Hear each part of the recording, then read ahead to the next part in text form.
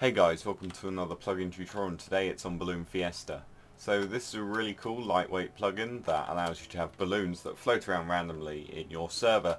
So you might want to use this in a hub server or for a donator perk in maybe factions or survival but it's really lightweight, it's really cool and you can download it for free on Bukkit I think, yeah Bukkit um, and it is working in 1.8. So if you do forward slash balloon um, it will show you all of the available balloons and like a few commands. So you can either do balloon and then either red or blue or hay and that will give you your awesome balloon that floats around um, when you walk about.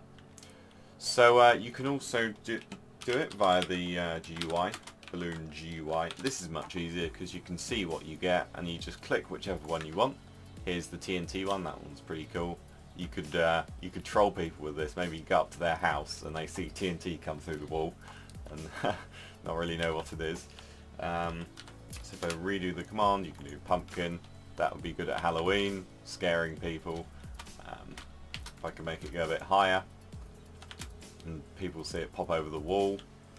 So yeah, it's a really cool plugin. Um, I really like the idea. Melon. You cannot summon a balloon here. Let's try here. Melon. There we go. So make sure you're out in the open.